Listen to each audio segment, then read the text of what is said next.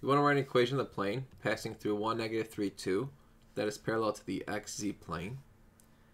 So for us, we're going to call uh, the green line the x plane, the red line the y plane, and the blue plane the z plane. Okay. So if it's parallel first to the z axis, that means it has to be vertical, something you know like this. Clearly these are vertical. And if it's parallel to the x-axis, it has to be like this.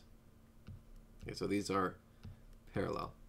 And so you want to combine these two, and the way you combine it is by making a, plane here. So like think of this as a, a sheet of paper.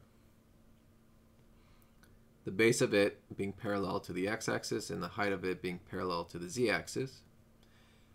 And this has to go through, I guess finding the equation first will be simple because it has to go um, through the y-axis here. So if we go along the base of it, the one consistent part of it is the y value.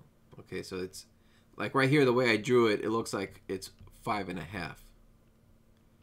So wherever you go on this um, plane, you're always going to be, the y value is always going to be 5.5. So it'll be something like this. You know, x and z will vary wherever you are on this uh, piece of paper.